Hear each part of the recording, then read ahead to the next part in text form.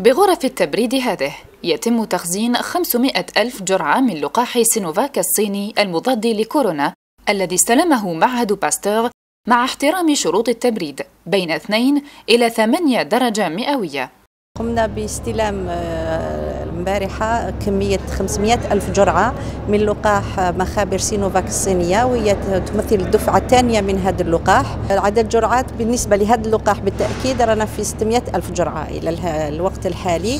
وحنا نواصل سوف نستلم تقريبا كل كل أسبوع إلى أن نستلم كل الكميات المتواجدة في في البرنامج الذي وضعناه مع هذا المخبر الصيني. الانطلاق في توزيع اللقاح الصيني سيتم خلال أسبوع حسب احتياجات وعدد الإصابات بكوفيد 19 في كل ولاية. إحنا في إثر آه، تحليل على مستوى المخبر تاعنا في معهد باستور وكي كي يتم التحليل إن شاء الله نقوم بتوزيعها على على كل ولايات الوطن.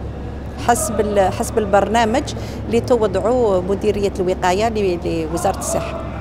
بهذه الكمية المستلمة تكون الجزائر قد استوردت أكثر من مليوني جرعة لتستمر العملية طيلة الأشهر القادمة.